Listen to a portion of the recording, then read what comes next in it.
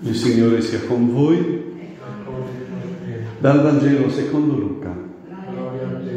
In quel tempo Gesù entrò nella città di Gerico e, stava, e la stava attraversando. Quando ecco un uomo di nome Zaccheo, capo dei pubblicani e ricco, cercava di vedere chi era Gesù, ma non gli riusciva a causa della folla perché era piccolo di statura. Allora corse avanti e per riuscire a vederlo salì su un sicomoro perché doveva passare di là. Quando giunse sul luogo, Gesù alzò lo sguardo e gli disse, Zaccheo, scendi subito, perché oggi devo fermarmi a casa tua. Scese in fretta lo accolse pieno di gioie. Vedendo ciò tutti mormoravano, è entrato in casa di un peccatore. Ma Zaccheo, alzatosi, disse al Signore, ecco Signore, io do la metà di ciò che possiede ai poveri e se ho rubato a qualcuno restituisco quattro volte tanto. Gesù gli rispose, oggi per questa casa è venuta la salvezza, perché anch'egli è figlio di Abramo. Il figlio dell'uomo infatti è venuto a cercare e salvare ciò che era perduto. Parola del Signore.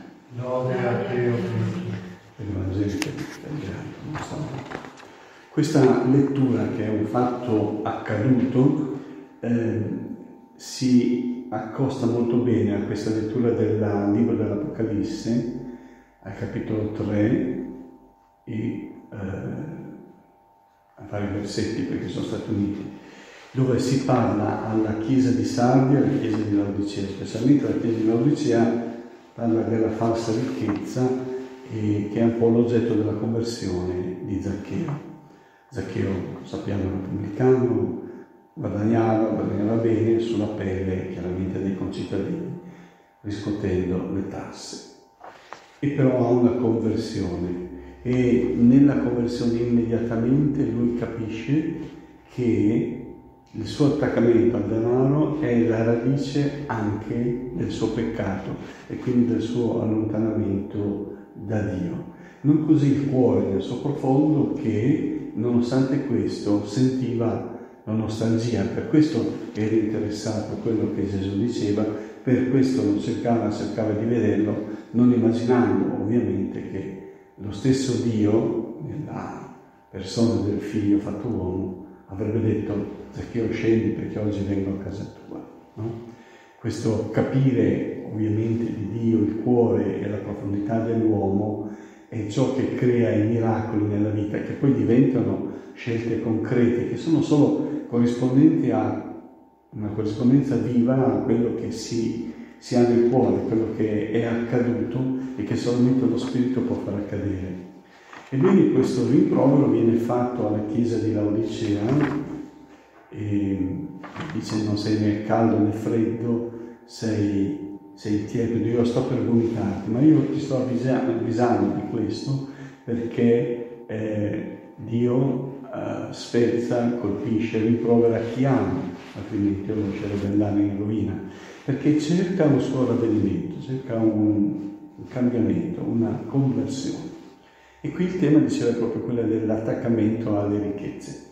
E sei vestito con vesti, in realtà sei nudo, sei eh, ricco, ma in realtà eh, sei un misero, quindi tua, quello che tu consideri la preziosità della vita e la ricchezza delle cose è talmente falsa che non ti accorgi che sei mezzo morto, che sei lontano da me, che hai bisogno di essere recuperato da questa tua posizione.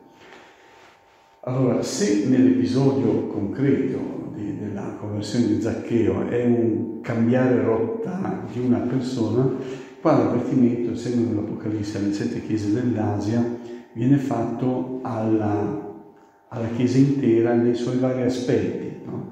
La Chiesa intera è fatta di chiese sorelle che stanno insieme, no? ogni, ogni diocesi no? è legata all'altra perché è parte del corpo di Cristo. C'è questa uh, così, uh, immagine dei dodici apostoli che diramano le, le chiese che sono nel mondo. La, l'avvertimento dell'Apocalisse alle sette chiese, di cui quella di Sardi e di Laodicea sono le, la seconda e la terza perché la prima è quella di Efeso, rappresentano dunque degli aspetti in cui Dio eh, va a colpire il cuore di chi era suo e si è allontanato. Come dice anche l'ultima frase del Vangelo di Luca, e anche Zaccheo è figlio di Abramo e figlio dell'uomo infatti è venuto a cercare e salvare ciò che era perduto. Cioè la prima cosa che Gesù fa è di salvare quelli che hanno già un aggancio con lui, perché se questi si allontanano hanno un debito di responsabilità completamente diverso rispetto a chi è nell'ignoranza con un rapporto stretto con Cristo. Noi diremo i battezzati che si sono allontanati hanno una responsabilità davanti a Dio che è molto diversa da quello che è un abitante della Mongolia o, o chissà quale altro paese dove il cristianesimo penso che se c'è è veramente qualcosa di infimo, ecco, nel numero perlomeno, non certo nella qualità. E dunque il rimprovero viene fatto alle chiese e il rimprovero fatto nell'Apocalisse ha una, come tutte le profezie, un, un aspetto immediato, le profezie avvengono per un tempo vicino, poi c'è un tempo intermedio, nel senso che le profezie tornano a essere vere perché quello che accade adesso diventa profetico e segno di quella che è la tendenza dell'uomo e che tende a ripetere. In più prospettiva finale delle profezie è quella che noi chiamiamo appunto apocalittica, cioè che riguarda gli ultimi tempi. Io vengo e vengo a riscuotere, vengo a chiedere conto, vengo a, a giudicarmi sulla base di quello che ho seminato, non sulla base di quello che non ho seminato. Sul fatto che sia un'eredità di fede che è passata nelle generazioni e che è stata data a voi, io vi chiedo conto dei frutti, che cosa c'è, che cosa state dando. Non né freddo né caldo. Alla chiesa di Efeso dice, pensi di essere vivo invece sei morto. È così anche l'Odicea, no? Siete in una situazione di morte, di lontananza da Dio l'attaccamento alle ricchezze e l'allontanamento dalla parola di Dio che viene non ascoltata e anche cambiata. Quando è che si cambia la parola di Dio la si rende morta? Come può la parola di Dio che Dio stesso morire? E così come abbiamo ucciso il Cristo sulla croce, noi possiamo uccidere la sua parola. Intanto annunciando senza la presenza dello Spirito, di quello Spirito di amore che Dio ha messo in noi, cioè vivendo male, nel peccato, noi siamo senza Spirito. Quindi annunciamo una parola che non tocca e non, non riguarda nessuno. Ma soprattutto quando noi, invece di insegnarla integralmente, così com'è, facciamo le interpretazioni a nostro uso e consumo. Per cui ci serviamo della parola di Dio per dire altro, per fare altro. Nel piccolo lo facciamo un po' tutti, no? quando chiudiamo gli occhi di fronte alle cose che Dio ci chiede e dice ma questo non me lo chiede o questo non è per me, ma io penso che sia solamente questo aspetto qua e quindi prendiamo un aspetto di tutto quello che arriva nella rivelazione, quello che ci importa e non ci importa che sia in contraddizione con tutto il resto. Ma poi c'è proprio l'errore dell'insegnamento, cioè quando noi pronunciamo delle parole o le interpretiamo distorcendo i fatti, noi facciamo la stessa cosa che ha fatto il demonio al peccato originale con Adamo ed Eva e che ripete con Gesù. Guardate bene, le tentazioni vengono sempre dalla parola di Dio che viene usata per convincere, ma per portare fuori. È vero, dice il serpente ad Adamo ed Eva, che voi, non morirete, che voi morirete se mangerete dell'albero di questo, voi non morirete affatto. No? No, ci ha detto noi non moriremo solamente di questo albero, qui noi non possiamo mangiare. No, lui l'ha detto perché non vuole che siate come lui e mette il dubbio. No? Così anche nella, nell'esercito Gesù subisce le tentazioni del tentatore mediante la stessa parola ma deformata e cambiata, dicendo hai fame, tu hai il potere, di a queste pietre che diventino pane, oppure eh, tu ti ti butti giù adesso dal pinnacolo più alto del Tempio perché è scritto verranno i tuoi angeli a sostenerti, quindi fa un bel miracolo, buttati giù, no? Ma eh, adesso non sto a spiegare dove consiste la tentazione, ma la cosa più importante è capire che La parola di Dio, se viene deformata, possiamo far dire esattamente il contrario di quello che significa. Mm, perché noi tagliamo le parole e le montiamo e le smontiamo come vogliamo. È facile far dire a qualcuno qualche cosa che non ha mai detto. È vero che tu hai detto questo, tu non hai rispetto per nessuno. Dici su allora, no? Sei tu il figlio di Dio, perché se dici che si fai figlio di Dio noi ti crocifiggiamo. E Gesù risponde, sì, ma è scritto, voi siete dei, ed è scritto nel sangue.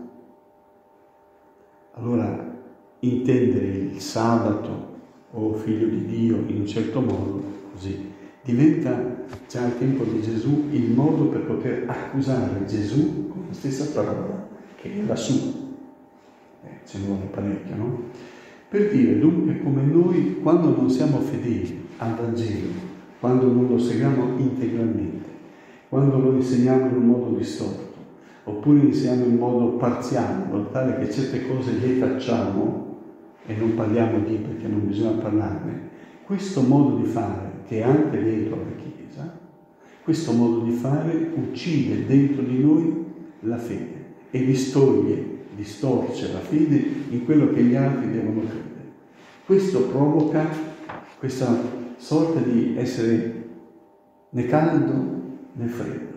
Sono legato più o meno alla Chiesa, ma in realtà non vivo dello Spirito di Cristo, perché l'ho ucciso in me, amando qualcun altro o qualcos'altro, che il Dio Mammone, il Dio del potere, il Dio del denaro, il Dio della, della vanagloria, vivesse in questo modo, in quell'altro.